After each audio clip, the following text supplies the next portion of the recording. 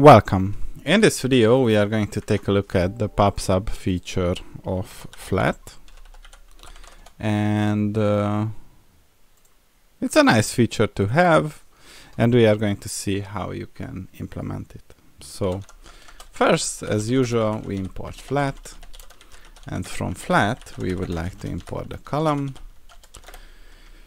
the elevated button the page the row the text and the text field.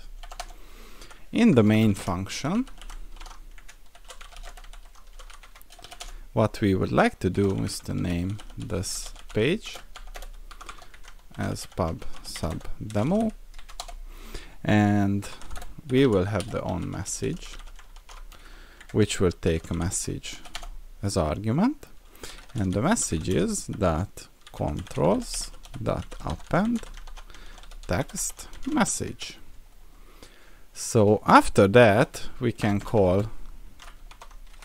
the page dot update and the page dot pub sub dot subscribe on message and uh, we can use the send click function to define an event and the page that pubsub that send all. And we would like to send an f string user dot value and user dot message.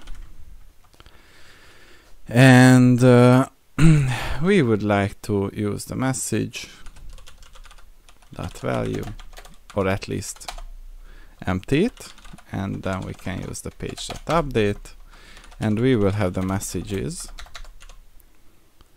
And it will be a column. And we would like to have the user which is going to be a text field. And there is going to be a hint text your name with the width 150 and the message which is going to be a text field with the hint text your message. And it will have the expand set to true. And the send which will be an elevated button. It will have the send text and on click we will use the on uh, the send click function and the page that add messages row controls equal user message and send. And we use the flet app to run with the target main and the view should be flet web browser. All right so now we should be able to run the PubSub. And after PubSub is running, we should have the name Daniel and the message whatever and send it. And if you open it in the browser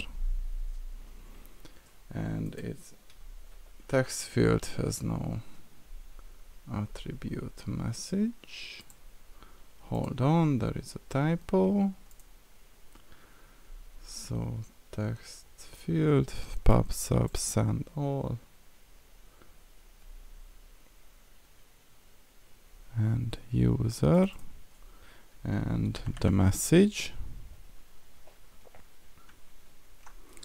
That value. And let's rerun it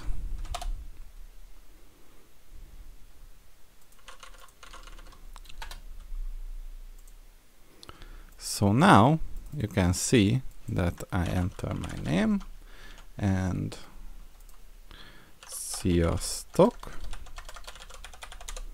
and send it. And if I open it in a new browser and send another message, we should see in the the other browser window the message which has arrived so let's send it and this is how you can use the PubSub feature of flet. See you in the next one